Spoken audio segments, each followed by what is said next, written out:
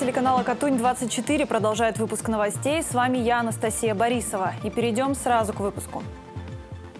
Поющий фонтан запустили в селе Алтайское. Его открыли на месте фонтана «Космос», который построили там еще в 80-х годах. Вы видели, какой он оттуда большой был? И какой высоты он был? Э, ну, до 10 метров. У фонтана будет подсветка и музыкальное сопровождение, но по-настоящему поющим фонтан станет только весной.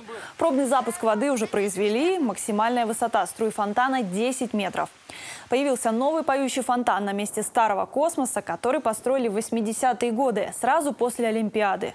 Его реконструируют уже в третий раз. До этого фонтан обновляли в 2000 году.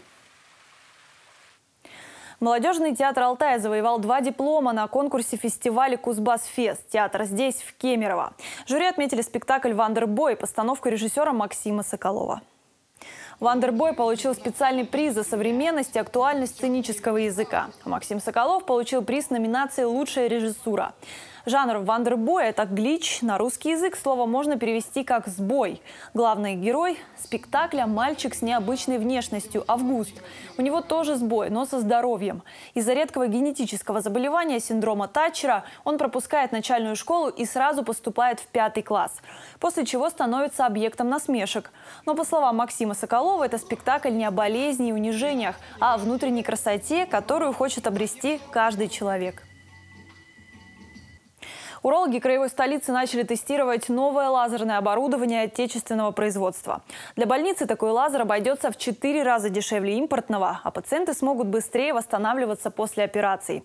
Что говорят сами врачи по поводу новой технологии, расскажем далее.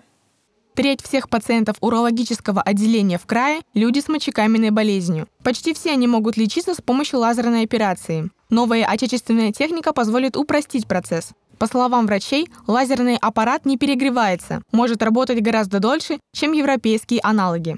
Дорогостоящая часть, излучатель, достаточно часто выходила из строя и требовала наличия э, хорошей системы охлаждения, как правило, водяной, что делало оборудование громоздким, тяжелым и э, маломобильным.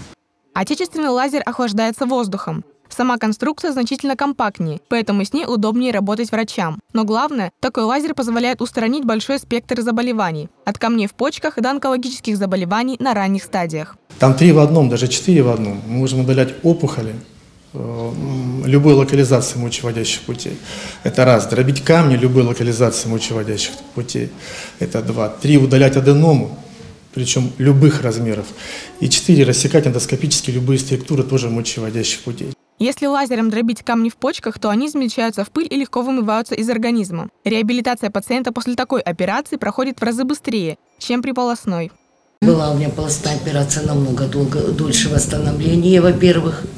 Во-вторых, там лежала я дней 10, а тут я на, в этот же день я встала и пошла.